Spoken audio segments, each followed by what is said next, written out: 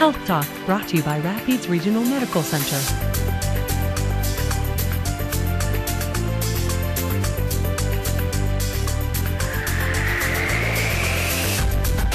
Rapides Regional Medical Center has done it again. For the second year in a row, the hospital has been named a best hospital by U.S. News and World Report and carries the distinction of being the only hospital in central Louisiana to make the list. We truly could not have done it without our employees, volunteers, and physicians. This is quite an achievement and one that we and Central Louisiana should be very proud of. Making this list is not an easy task.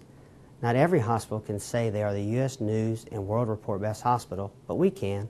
Each year, U.S. News and World Report evaluates approximately 5,000 hospitals and recognizes just 15% nationwide for their high performance. This year, Rapides Regional was specifically recognized for its achievements in gastroenterology and GI surgery, nephrology, orthopedics, neurology, neurosurgery, and pulmonology.